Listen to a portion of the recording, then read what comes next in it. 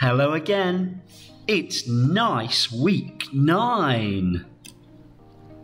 You will say it is more than nice when you know what we are talking about. It's food. Is it better than potato chips? Potato chips are really great. It is so much better. Huh, what could it be? Hmm, better than potato chips. Oh, what is it? What is it? Please tell us what it is. Oh, yes. Okay, that is better than potato chips. It's chocolate. Everyone loves chocolate. That is fantastic. Well, now, I have to be honest here. I am a very old man, but I still do this. I eat far too much chocolate. I just can't help it. It's so good.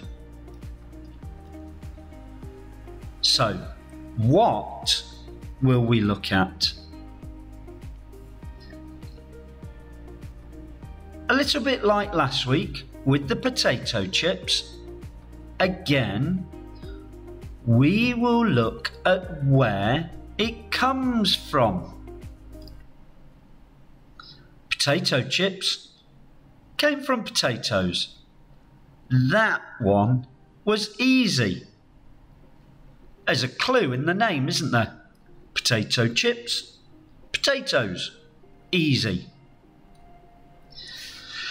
Huh, chocolate, chocolate, chocolate. Where does that come from? Hmm, I have no idea. That's what we're here to find out.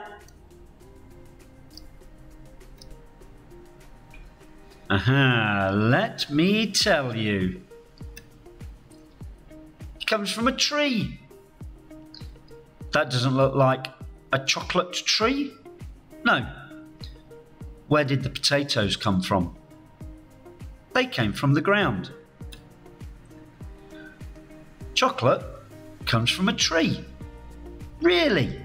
Really, really, really, it comes from a tree. Now, what we can see there is part of a tree. A very special tree. Really special. It really, really is special. Again, I can't say it often enough. The tree is actually really special.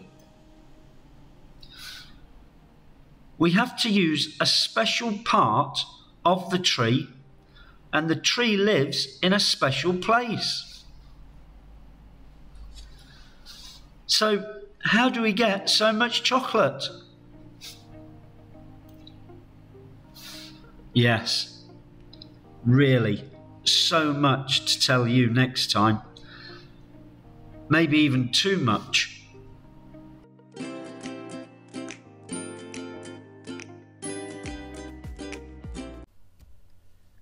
Thank you for watching our video today. Please don't forget, subscribe, and that will help us to make lots more videos for you. Thank you. Bye.